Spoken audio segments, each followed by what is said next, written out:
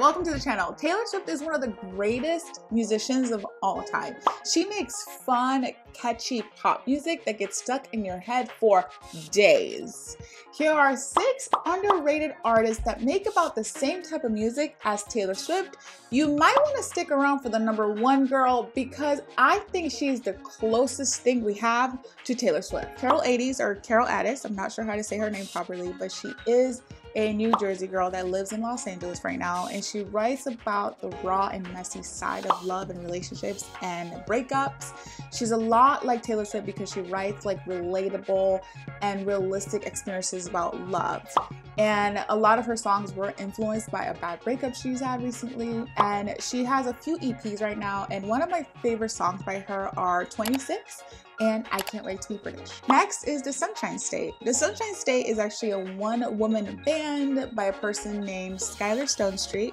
Um, she makes bright and fun, summery kind of music, but her lyrics are a little dark. She writes about like drug dealers and having sex with random people and there although those are really fun lyrics it kind of does doesn't go with the music really well it's still really fun to listen to last year she did release a full-length album called in another life and if you're kind of comparing her to Taylor Swift, it would be more like the 1989 era kind of music. Her music, just like Taylor Swift, makes you want to dance and have fun. My favorite songs by her are Pushing 30 and Cliff Dive. Ashley Kutcher. Ashley doesn't sound like Taylor Swift, but she does write music exactly like her. They are both really good storytellers when it comes to their songwriting. Her songs are slow and melodic and more soulful than Taylor Swift, but she makes like devastating, heartbreaking kind of music. Ashley Kutcher does have a few EPs out right now. Some of my favorite songs by her are Boy from California, and Love from a Distance. Lights. Lights is a Canadian whose birth name was Valerie, but she legally changed it to Lights so she can have the legal rights to the name as a stage name.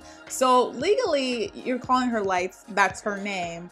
Um, she's actually been in this music game for a very long time. She has a total of five full-length albums out right now as we speak. She doesn't write so much songs about her exes as Taylor does, but what she does do is write really good melodies, really fun and interesting melodies that kind of also get stuck in your head for a really long time.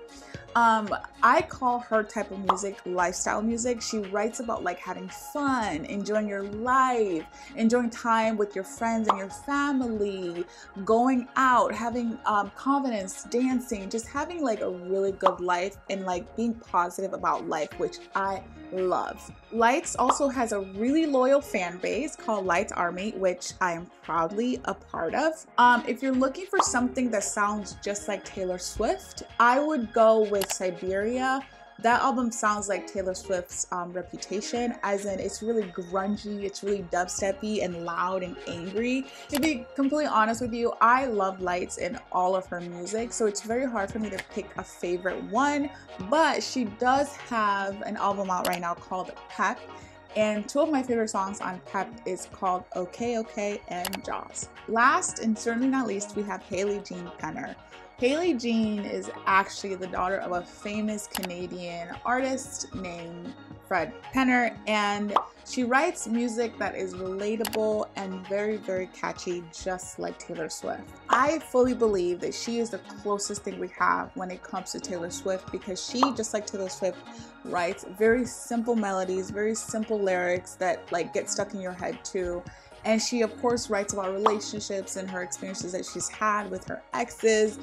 And she really writes music that kind of gets your soul, just like Taylor Swift does. I fully believe that if Haley Jean had the right financial backing and the right record label, she would be one of the biggest pop artists of all time right this minute because she is that talented and I really love her music. She did have an album out last year called People You Follow, and some of my favorite songs by her are Something You Never Had and Know You Then.